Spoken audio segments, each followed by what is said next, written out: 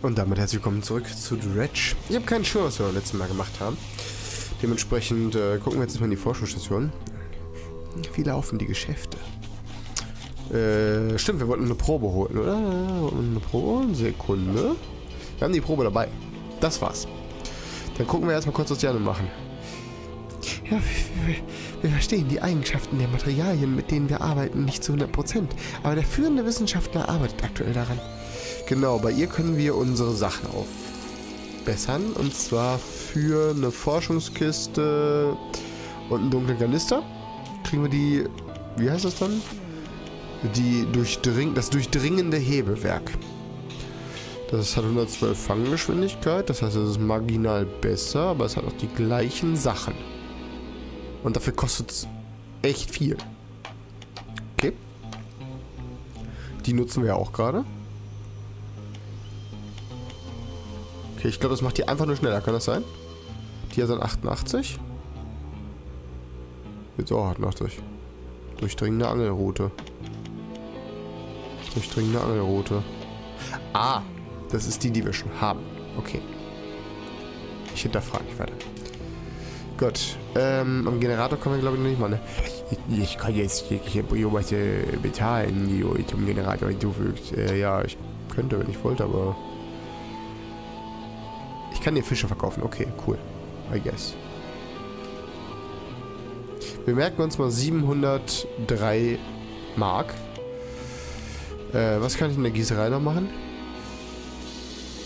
Mir gefallen die Gewässer nicht, der Gesellschaft anscheinend schon. Ich habe keine Ahnung mehr, was... Ach ja, genau, hier können wir äh, eine Erzkiste bauen aus Stoff, äh, Schrott und Dingens. Im Technologielabor kann ich gerade nichts mehr tun, denn ich habe die zweite Stufe noch nicht freigeschaltet. Und im Schattenmarkt kann ich...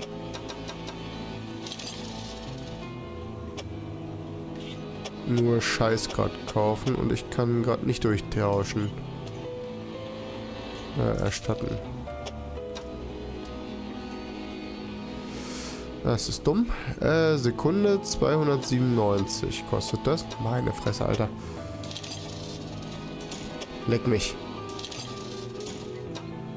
Ich wollte die gleich einlagern, aber egal.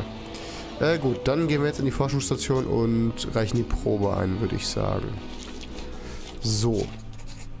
Der Wissenschaftler wirkt erstaunt. Er sieht zuerst in einigen Dokumenten auf seinem Schreibtisch nach und blättert anschließend durch eine alte Enzyklopädie. Das ist äh, bemerkenswert.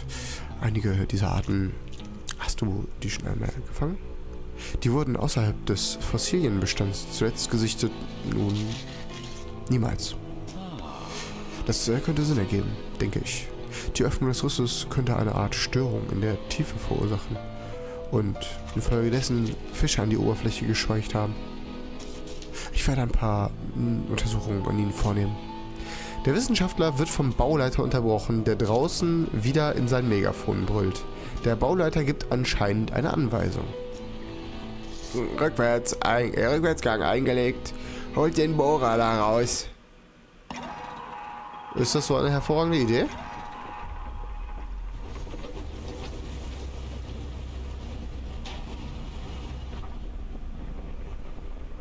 Hä?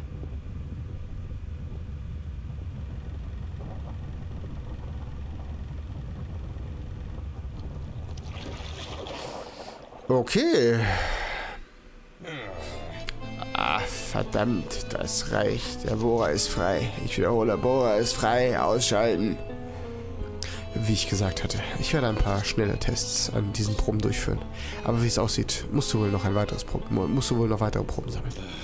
Anscheinend ist die Lagerstätte weniger stabil als erwartet. Sogar nach Entfernen des Bohrers scheint sich der Riss weiter auszuweiten. Bedauerlicherweise gab es Berichte darüber, dass einige Schadstoffe in isolierten Vorkommen aus dem Riss entweichen. Die Möglichkeit bestand immer, die Ingenieurin in der Fabrik hat bereits an einem System gearbeitet, derartige Schadstoffe aus dem Wasser abzusaugen. Nur zu gerne hätte ich einen Kanister voll davon. Okay. Können scheinbar hier neue Sachen machen. Fabrik. Wir arbeiten gerade an der Planung einer Erweiterung der Fabrik. Vielleicht könntest du uns dabei helfen? Äh, klar.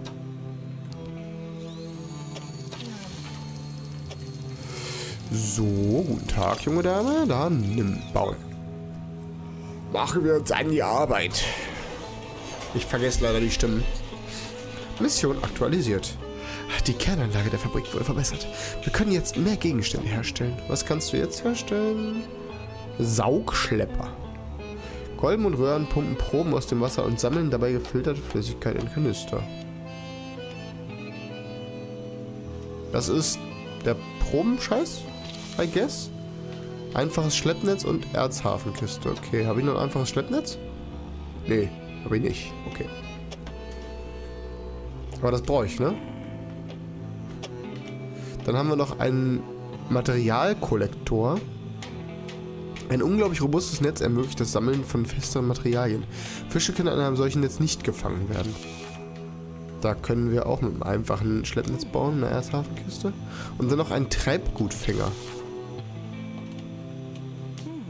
Ähm, einmal ausgelöst, dehnt sich dieser Fänger zu einem großen Gebilde aus und ist so in der Lage, weggeworfene Materialien sicher zusammenzutragen.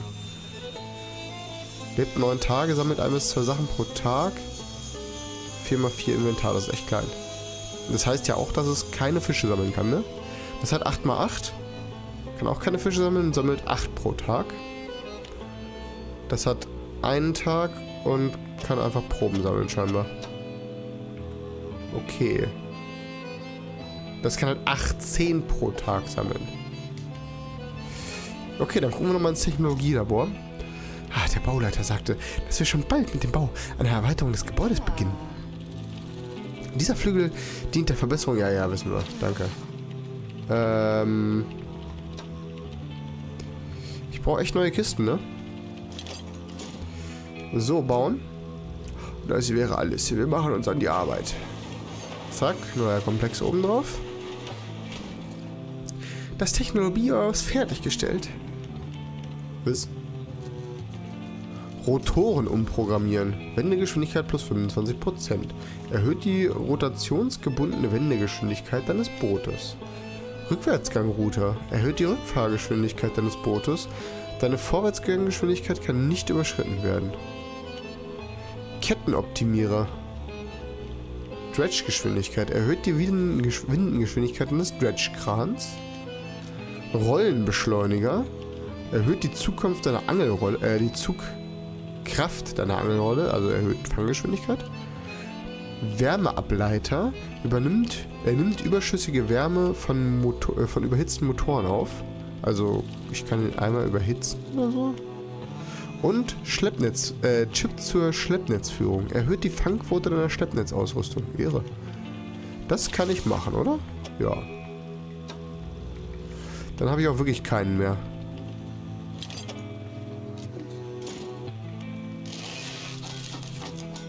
Rotoren umprogrammieren. Wendegeschwindigkeit plus 25%. Muss ich das benutzen?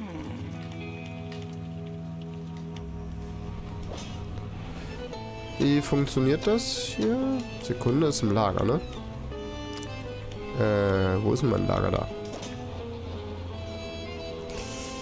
Äh, da. Wo muss das äh, in installiert werden?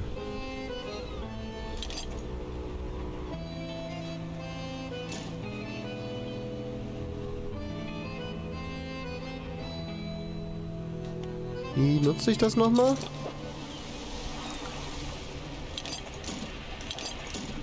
Ist das einfach an?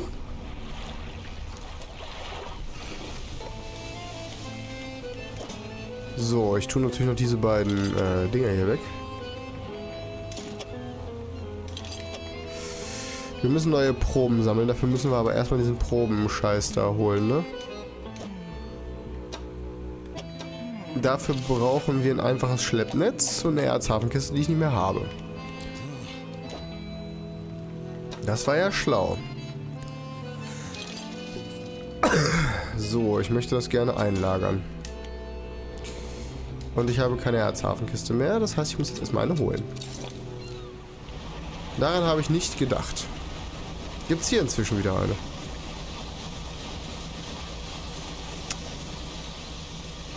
Nee. Das ist sehr schade. Dann wird es da unten aber auch nicht wieder eine geben. Und da war ich, glaube ich, auch schon. War ich da? Da war ich nicht, ne? Aber ich kann auch einfach nach rechts fahren gleich.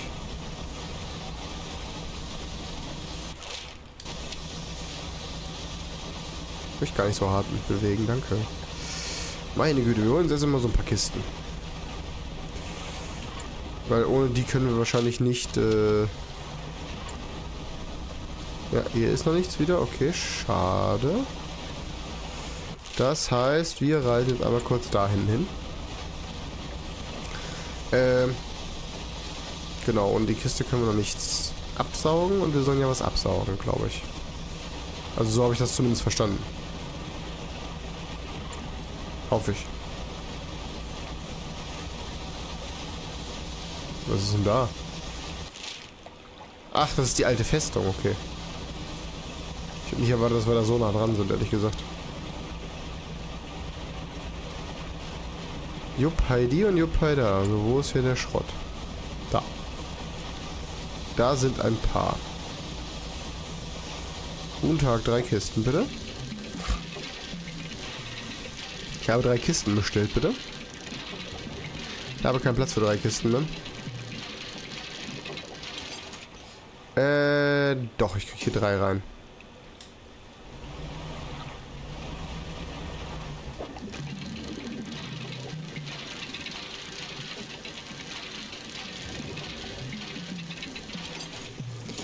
So.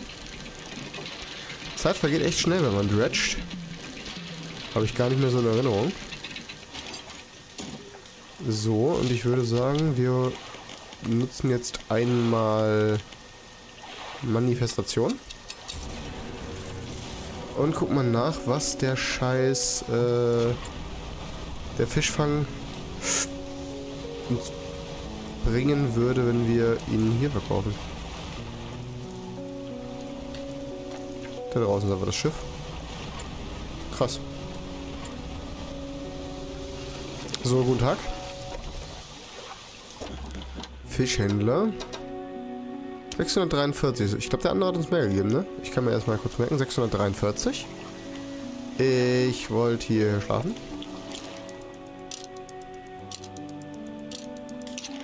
Vier.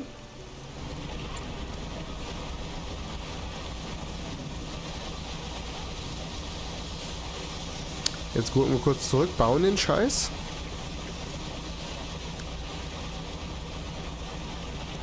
Und dann können wir eventuell noch Proben sammeln gehen. Ich bin jetzt natürlich nicht noch zu der anderen jungen Dame da hinten gefahren. Oder da hinten, oder da hinten, oder da hinten.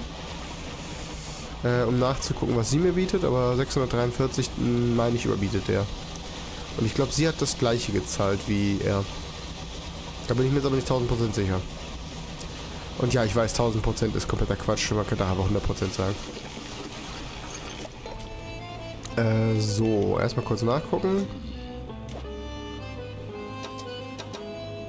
Äh, nee, bei ihm konnte ich ja nicht verkaufen. Wo konnte ich denn nochmal verkaufen? Ich dachte, das wäre bei ihm gewesen. Ah, nee, das war bei ähm, Generator, ne? Hallo? 624, äh, 624. Okay, nee. Ist genauso wenig, beziehungsweise sogar weniger. Wahrscheinlich, weil die Sachen hier inzwischen verrotten sind, ne? Äh, wir verkaufen mal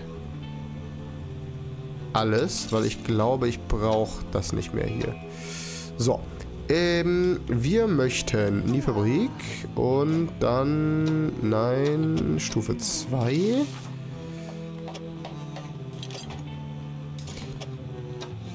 Lager, einfaches Netz. Zack, bauen.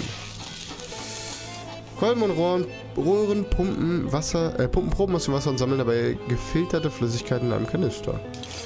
Wo muss ich die einbauen? Kann ich die einfach da hinstellen?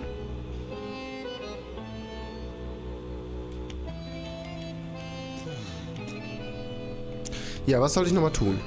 Einheimische in den Marktständen und äh, bei den Sturmklippen berichten von der Sichtung seltsamen Schleims auf der Wasseroberfläche. Ich möchte, dass du davon einen Kanister voll für mich sammelst. Du musst dann den Saugschlepper ausrüsten und ihn in verseuchten Gebieten einsetzen, um Proben aus dem Wasser zu entnehmen. Äh, Probe sieht wahrscheinlich... Was? Okay, wir sollen auch irgendwelche Fische fangen. Die sind... Da ist ein ozeanischer, aber ich kann keine ozeanischen Fische fangen. Weißt du irgendwas über die mutierten Fische, die ich gefunden habe? Mutationen finden sich bei fast allen Arten von und Fischen. Was? Mutationen finden sich bei fast allen Arten und Fische sind da keine Ausnahme. In meinen Jahren des Studiums sind mir Fische mit zusätzlichen Flossen, Augen und sogar Köpfen begegnet. Ja, es handelt sich um einen relativ normalen Teil der Entwicklung einer Art. Mitunter können äußere Faktoren eine Rolle spielen, jedoch nur unter außergewöhnlichen Umständen. Äh, was wird mit dem Riss geschehen? Da der Bohrer nun entfernt ist, sollte sich die Lage beruhigen, vorausgesetzt, dass nichts anderes den Meeresboden stört. Ich schätze, dass der Riss mit der Zeit komplett mit Sediment gefüllt wird. Bis es soweit ist, ergeben sich durch den Riss allerdings einige interessante Forschungsmöglichkeiten. Okay, ich habe die Vermutung, dass ich meine Sachen hier in der Fabrik aufwerten muss und dadurch dann auch ozeanisch kann. Ähm, das durchdringende Hebewerk wäre das Richtige dafür, ne? Dafür brauche ich die endlose Winde, glaube ich, genau. Dafür brauche ich aber so einen Kanister und dafür habe ich jetzt, glaube ich, das Pumpwerk mir geholt. Und das Pumpwerk, stopp. Das Pumpwerk muss ich ja wahrscheinlich ausrüsten, ne? Das Pumpwerk zum Beispiel auch gar nicht äh, im Inventar.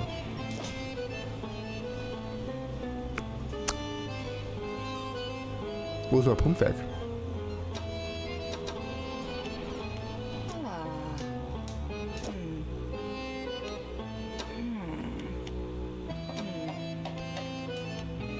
Ähm, war doch hier, warte mal, ich bin, ich bin gerade ein bisschen durcheinander.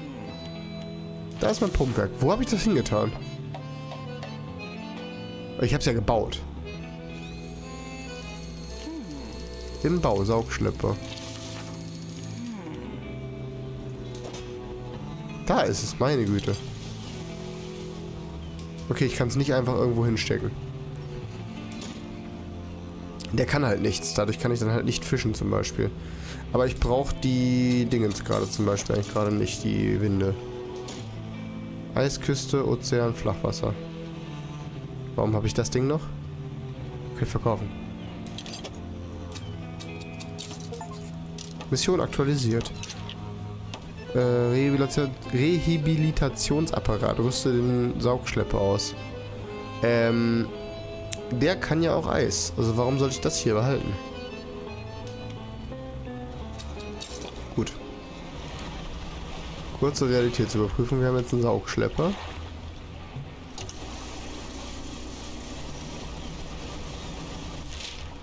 Und wir müssen noch mal ein bisschen Viechers fangen.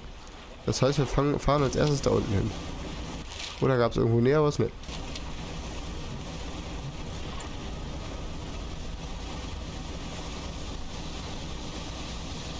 Da war das, glaube ich. Ja. Gut, das heißt, wir können gerade nur kein Ozeanisch fangen und dafür brauchen wir diese Kanister. Wofür wir wahrscheinlich Proben brauchen. Die Frage ist, die ich mir jetzt stelle, ist, reicht es, wenn ich die Proben einfach sammle, oder muss ich mit ihm dann darüber schnacken? Oh. Das saugt die Sachen auf. Wie ist denn das, wenn ich jetzt hier rüber fahre?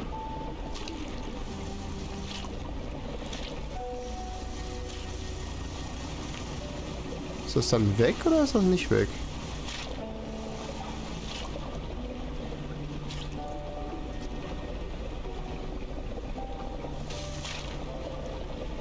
Leck mich Rumpf beschädigt, Alter. Nur weil ich da so leicht rangeditscht bin, ey.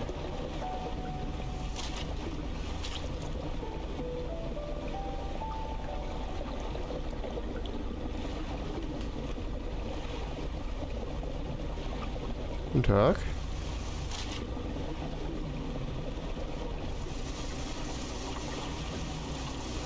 Es ist schon relativ spät. Ich kann hier zum Glück gleich mal anlegen.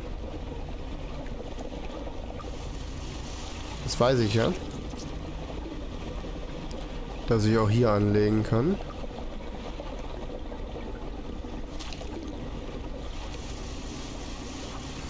Ich würde halt gerade gerne noch ein bisschen was äh, abbauen, um zumindest eine Probe zu haben.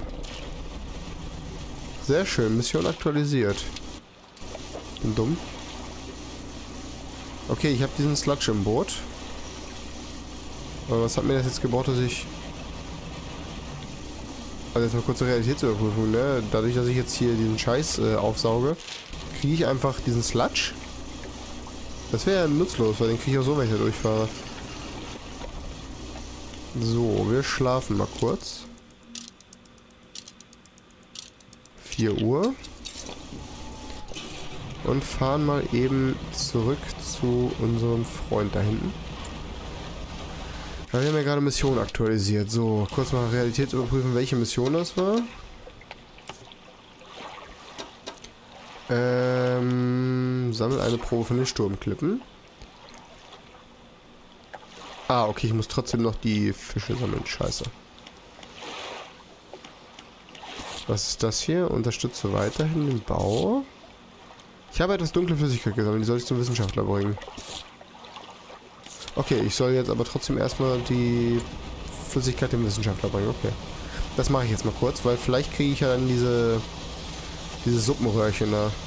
Womit ich dann meinen meine Dredge-Dingens verbessern kann, dass ich auch hier die ozeanischen Sachen dredgen kann. Nein, meine Winde.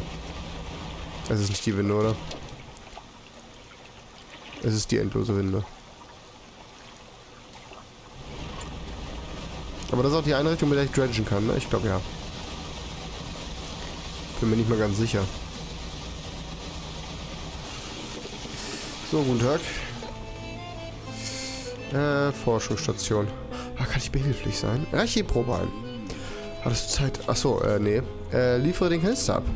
Hattest du schon einen Kanister voll Schadstoff gesammelt?